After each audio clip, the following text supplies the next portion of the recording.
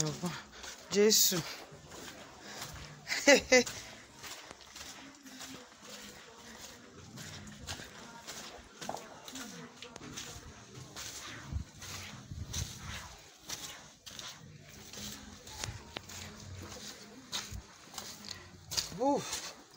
I'm going to, to the school for a back to school program. This is the road leading to our back to school. so one needs to jump water to get to the class. Yeah. Father.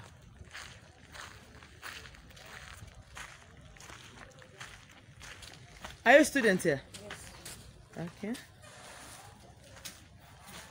Is that the HM's office? No, it's just. Okay. Maybe this was the HM's office before. Before, as in Mm. years before I started working here, anyway. I was working with them. But this place, I think here is a swampy area. Very well. That's why you will see all this water. yes. But are you sure they're still using this class? For I'm not they sure. Are not using them. Uh-huh. to. They're not using. They can't use this now. class anymore. Imagine toilets. See that place where block is. That's That small block. You want to go and see. If you something irritates you, you no go see. Like my little daughter, she would say, there are some places you come to and you will just see packages. Oh my goodness. Ooh. And these are things that people can just do. It doesn't cost so much. Oh. Hmm. They renovate all these places. To be honest, make the place very comfortable for these kids. Whoa, this is the toilet. Hmm. That's it. This very small place. Yes, Toilet or bathroom. it's where they use and everything. You're not worry. Uh-huh, of course. See, this is the class. But at least the class that has no roof.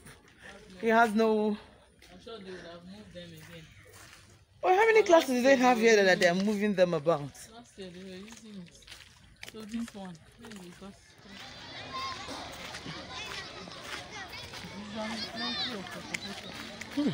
It's a swampy area.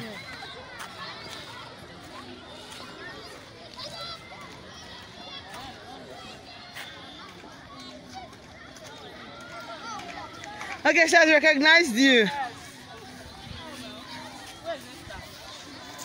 Oh, you. Okay, mommy. Today is. Your students. Yes.